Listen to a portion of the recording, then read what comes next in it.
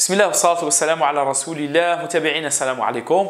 إذا اليوم بإذن الله سنكون مع آخر درس في وحدة الدوال الأصلية وهو بعنوان المعادلات التفاضلية. هذا الدرس موجه للشعب العلمية شعبة علوم تجريبية تقني رياضي وشعبة رياضيات وأيضا شعبة تسيير واقتصاد. إذا فكرة سهلة للغاية. واصلوا معنا مشاهدة هذا الفيديو للأخير وستفهمون الدرس بكل سهولة.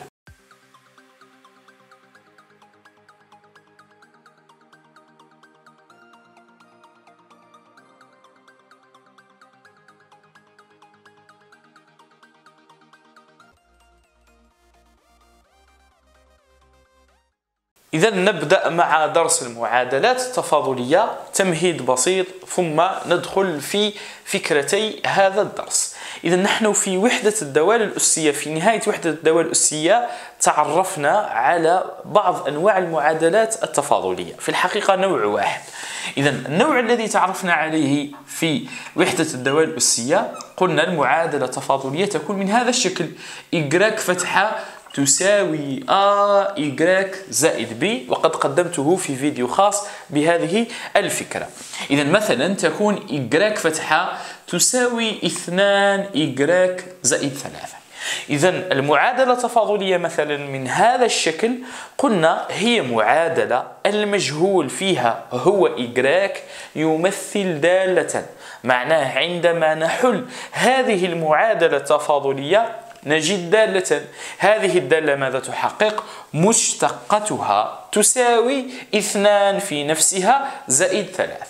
إذا لحد الآن هذا النوع الوحيد من المعادلة التفاضلية. وعلى فكرة قلنا حلولها هي الدوال المعرفة بهذه الطريقة. c أسية a x ناقص b على وبي وآ هما معاملا المعادلة. الآن في هذا الدرس سنتعرف على شكلين آخرين من المعادلات التفاضلية والتي, والتي لها علاقة بالدوال الأصلية بطبيعة الحال لأن الوحدة هي وحدة الدوال الأصلية. إذا الشكل الأول الذي سنتعرف عنه ستكون y فتحة تساوي دالة. إذا الشكل الأول هو المعادلات التفاضلية من الشكل y فتحة تساوي f ل x مثلا في هذا التمرين التطبيقي قال حل المعادلة التفاضلية E كيف معرفة؟ y فتحة تساوي 3x مربع ناقص 2x زائد 5 إذا يعطينا y فتحة تساوي عبارة دالة معينة والمطلوب منا هو ماذا؟ هو البحث عن الحل إذا لاحظ عندما تقول مثلا الجميع الآن أي أي إنسان قرأ الدوال الأصلية درس الدوال الأصلية سيعرف من المفروض الإجابة ما هو حل هذه المعادلة التفاضلية لماذا؟ لأنه عندما تريد أن تحل مثلا y فتحة يساوي 2x أنت تقول y فتحة يساوي 2x يعني ما هي الدالة الذي إذا قمت باشتقاقها تعطي 2x إذا ما هي؟ واضح جدا أن y تساوي x مربع. الدالة الأصلية ل 2x زائد سي بطبيعة الحال. لأنه بهذه الطريقة قلنا أنت تتساءل ما هي الدالة الذي إذا قمت باشتقاقها تعطي 2x واضح أنها الدالة الأصلية. معناه في الحالة العامة عندما نريد حل هذه المعادلة التفاضلية y فتحة يساوي f ل x.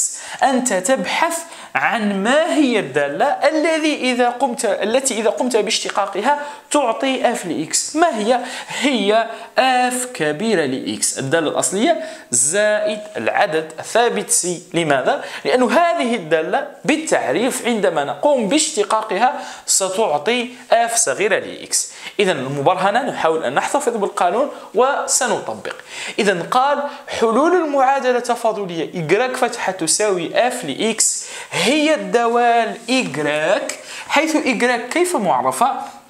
حيث y تساوي f لx زائد c إذا f كبيرة هي ماذا؟ هي الدالة الأصلية لf صغيرة وسي هو ماذا؟ هو عدد ثابت كيفي إذا f كبيرة هي دالة حيث f كبيرة هي دالة أصلية للدالة f صغيرة والعدد دائما سي في الرياضيات يرمز له بعدد ثابت كيفي إذا ثابت كيفي الآن هل نعين قيمة السي؟ هل نعين قيمة السي أم لا؟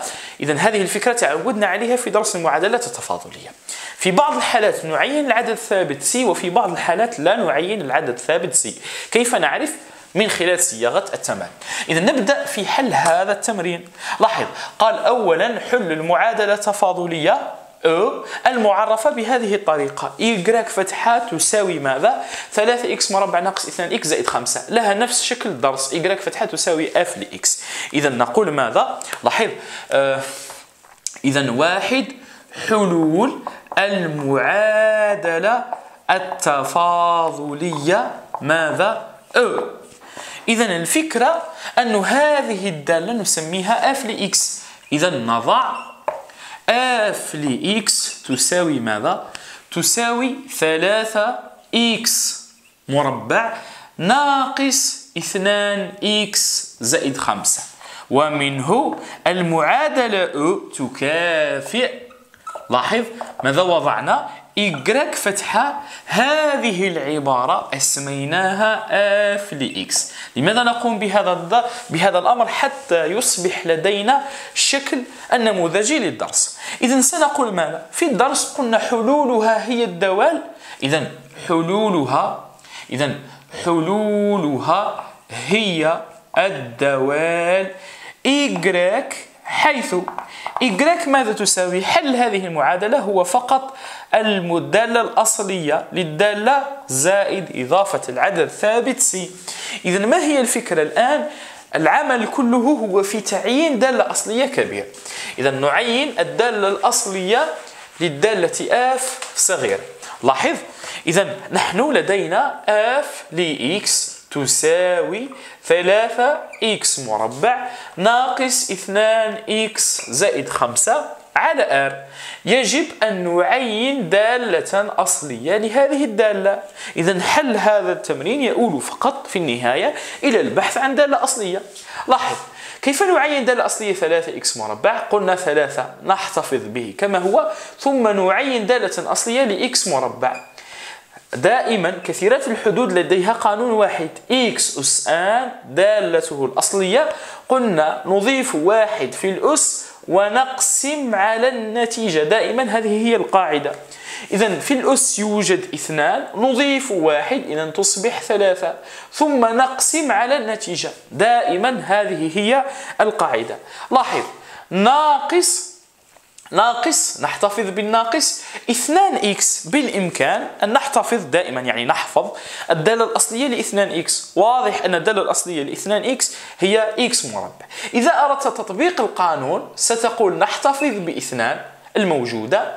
الأس هنا فيه واحد لأنه عندما لا يكتب أس هنا معناه يوجد واحد. إذا نضيف واحد للأس يصبح ماذا؟ يصبح اثنان. ونقسم على النتيجة. سنجد اثنان تختزل مع اثنان نجد فقط x مربع. دائما الدالة الأصلية لاثنان x هي x مربع. زائد الدالة الأصلية لخمسة قلنا العدد الثابت a دائما دالته الأصلية ax إذا زائد 5 x لأنه مشتقة 5x هي 5 هل نضيف العدد الثابت c؟ لا لن نضيف العدد الثابت c لماذا؟ لأنه عندما نعوض عبارة f سنجد أنفسنا آليا أضفنا العدد c إذا حلول المعادلة هي ماذا؟ حلول المعادلة أخيرا حلول المعادلة هي الدوال ماذا؟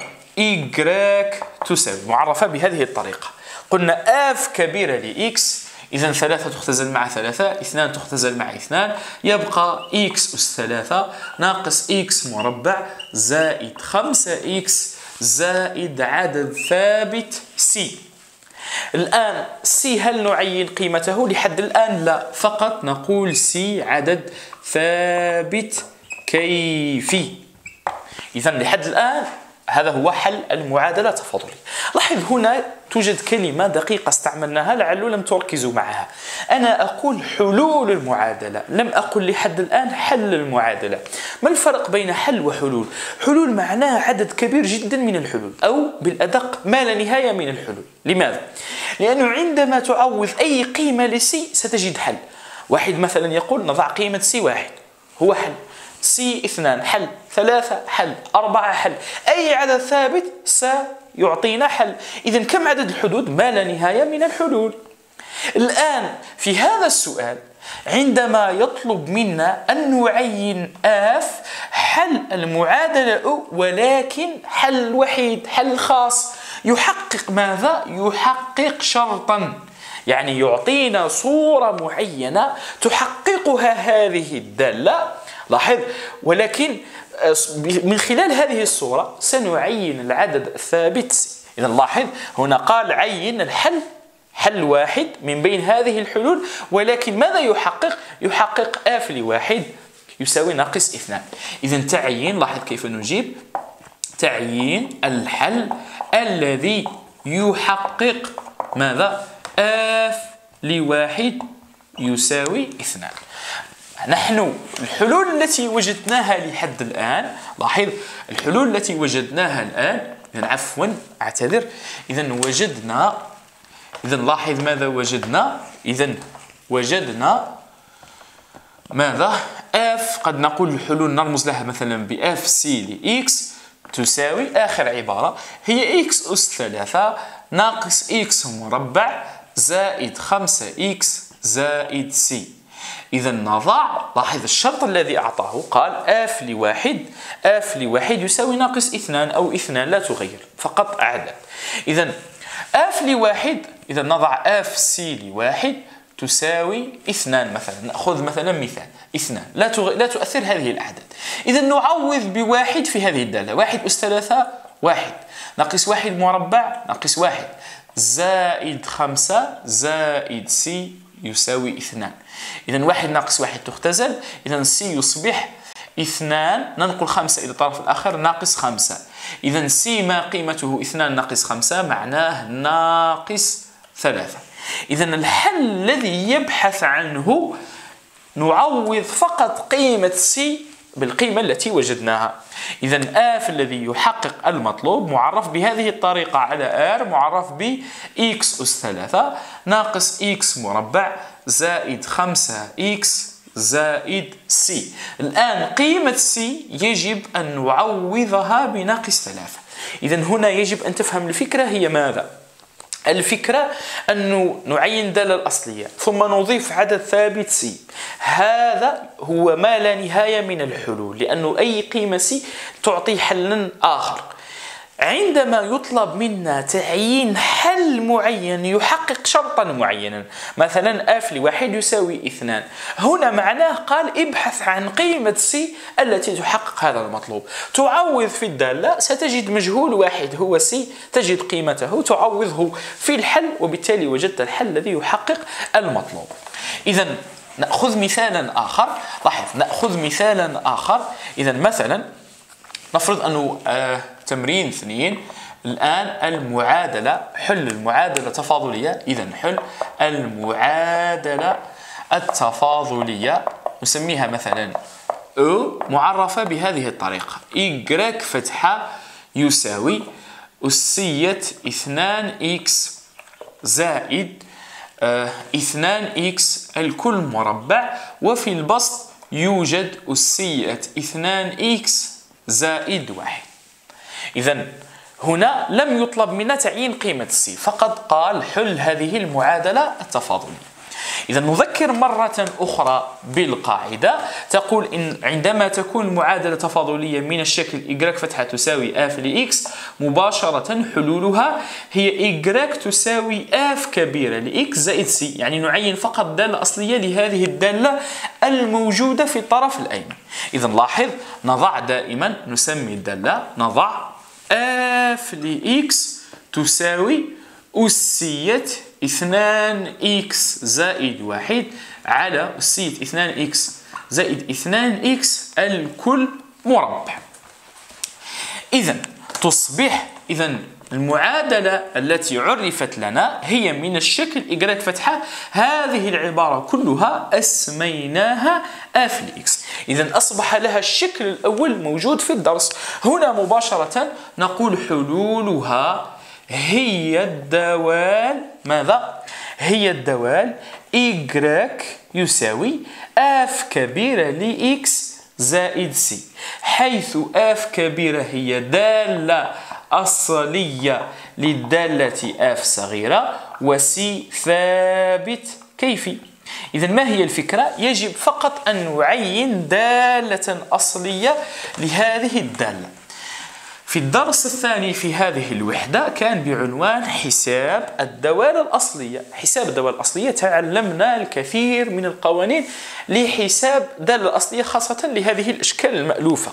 لاحظ قلنا عندما تكون الدالة من هذا الشكل إي فتحة وفي المقام يوجد إي أس آن لماذا فكرنا في هذا الشكل؟ لماذا لم نفكر في شكل آخر؟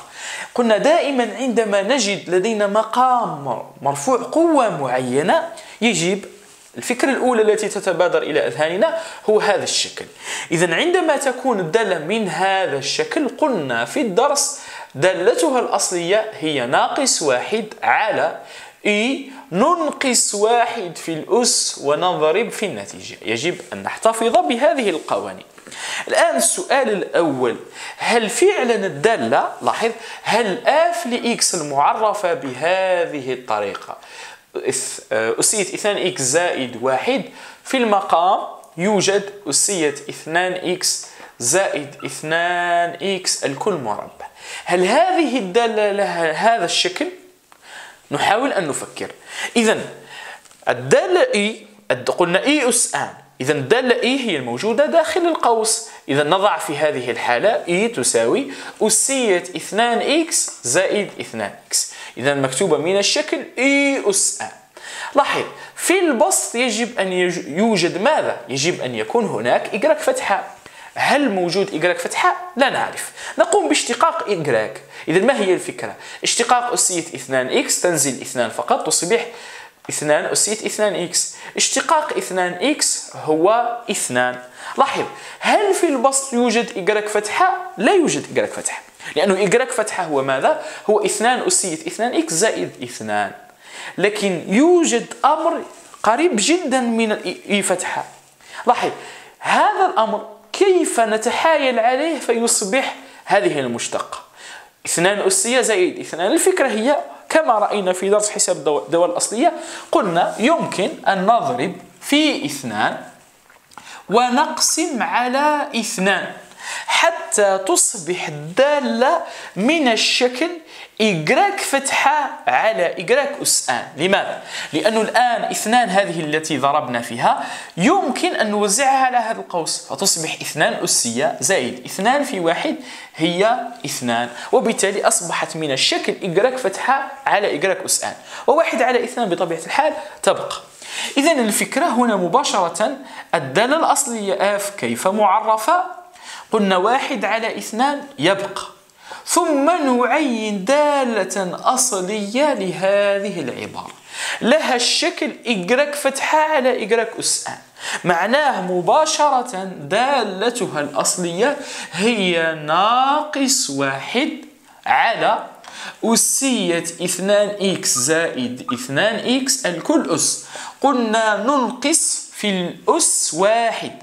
إذا الأس هو إثنان ننقص فيه واحد يصبح واحد. ونضرب في النتيجة. إذا عندما نضرب في واحد لن يتأثر أي شيء. عندما نرفع قوة واحد أيضا لن يتأثر أي شيء. إذا بهذه الطريقة نكون قد عينا دالة أصلية. إذا آخر إجابة على هذا السؤال نقول الحلول. إذا أخيرا الحلول هي إجراك يساوي قلنا اف لإكس اف كبيرة لإكس زائد سي اف كبيرة اثنان. ننظم هذه الكتابة إذا تصبح اثنان في أسية اثنان إكس زائد اثنان واحد في ناقص واحد هي ناقص واحد ولا ننسى إضافة العدد الثابت سي سي هو ماذا؟ هو عدد ثابت كيفي ما معناه؟ إذا لحد الآن أي قيمة لسي تعطينا حل إلا إذا أضاف لنا شرطا قال عين الحل الذي يحقق كذا. في تلك الحالة نعوض بالصورة ونجد قيمة سي التي يبحث عنها.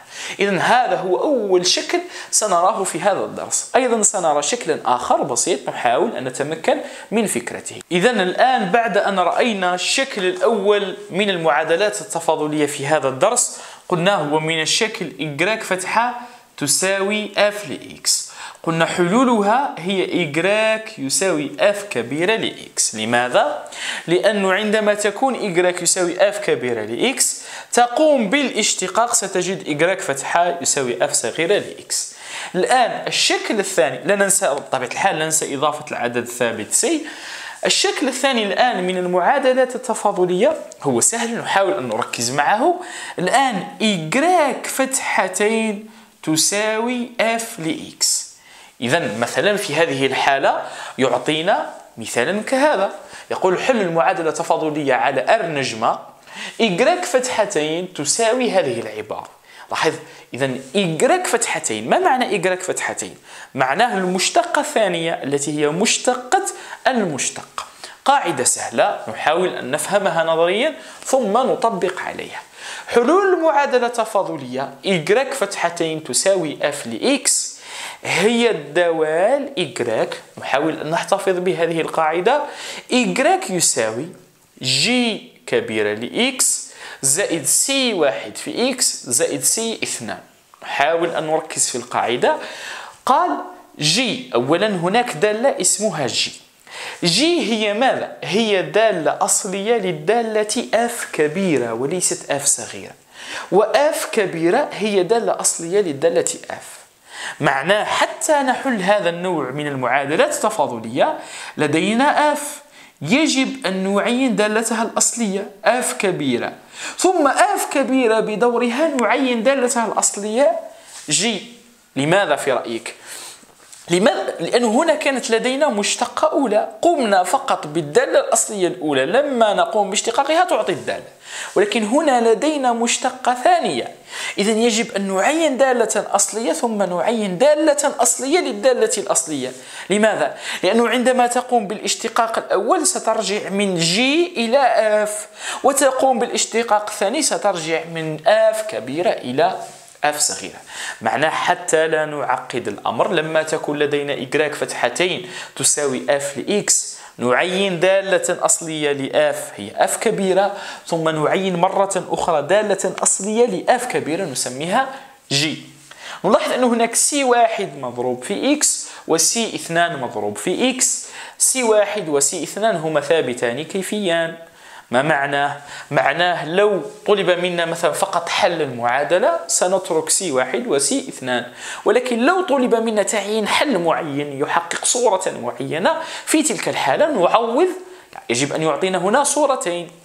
يجب أن نعوض ونبحث بجملة معادلتين نبحث عن قيمة سي واحد وسي اثنان. إذا الذي يهمنا هو الحل الآن وليس تعيين الثوابت إذا نطبق على هذا المثال. قال حل معادلة تفاضلية y فتحتين تساوي هذه العبارة. أولا نسمي هذه المعادلة التفاضلية E ثم هذه العبارة يجب أن نسميها دالة. إذا نضع لاحظ على R نجمة الآن. لماذا R نجمة؟ لأن المقام لا يجب أن ينعدم على صفر. إذا نضع على R نجمة F صغيرة ل X تساوي X أس 4 زائد X أس 3 زائد واحد على إكس مربع. الآن قلنا يجب أن نعين دالة أصلية للدالة f صغيرة هي f كبيرة ثم نعين لها دالة أصلية. لاحظ لو أردنا تعيين دالة أصلية لهذه الدالة بالقوانين التي نعرفها يستحيل. لماذا؟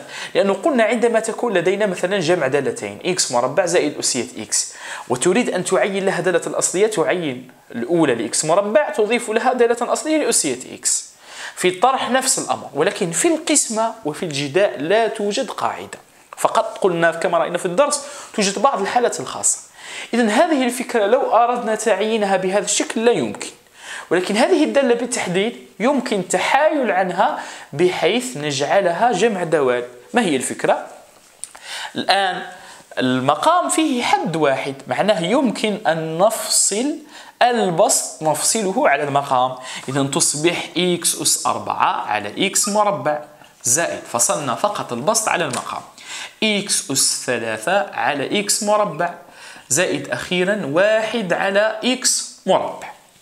إذا تساوي x أس 4 على x مربع هي x مربع زائد إكس أس 3 اختزالات فقط إكس أس 3 إكس مربع نختزل إكس مربع مع إكس مربع يبقى فقط في البسط إكس زائد واحد على إكس مربع.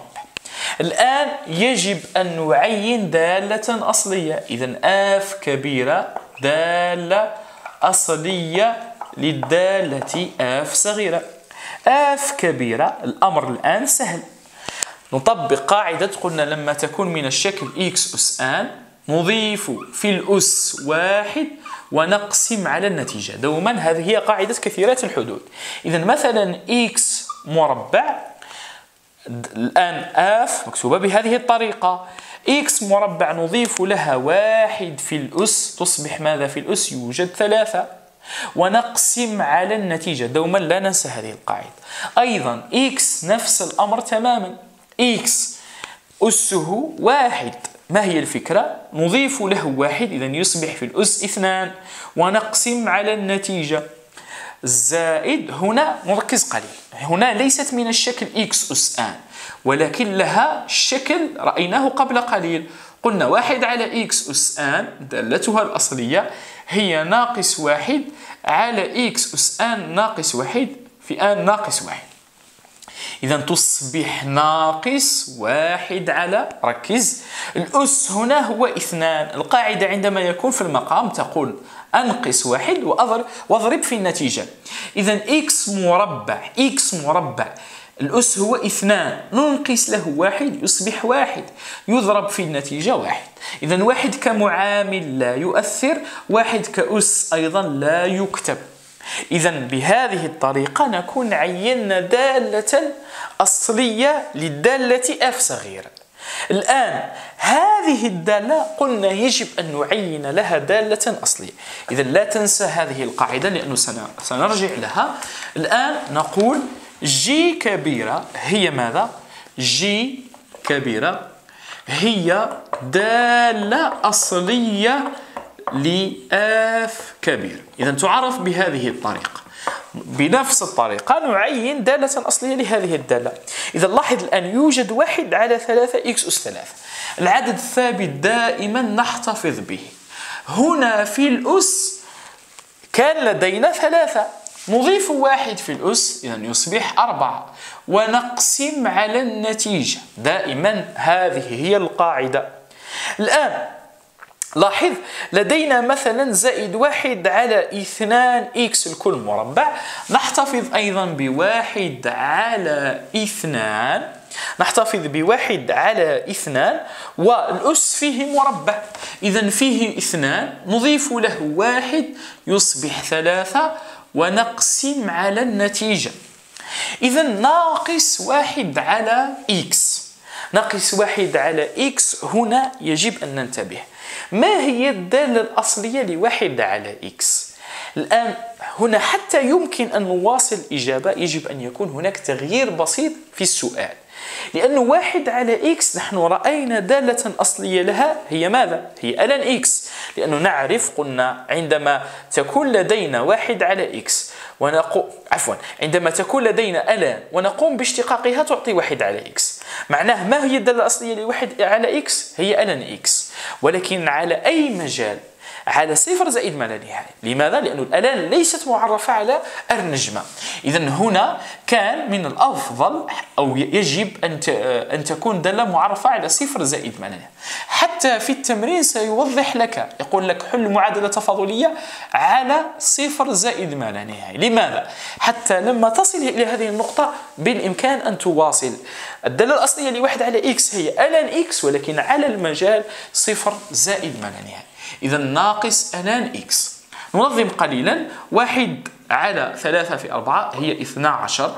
x أس أربعة زائد واحد على ستة. x أس ثلاثة ناقص ln x. إذا عينا الآن دالة جي. ماذا بقي لنا حتى نحل المعادلة؟ فقط نكتب الجملة التي رأيناها في الدرس. إذا حلول أو المعادلة التفاضلية هي الدوال إيكغيك حيث القاعدة تقول نذكر بالقانون g ل x زائد سي واحد في إكس زائد سي اثنان. إذا g واحد ل x نأخذ هذه العبارة ونعوضها. واحد على اثنى عشر x أس أربعة زائد واحد على ستة x أس ثلاثة ناقص ln x زائد c واحد x زائد c اثنان.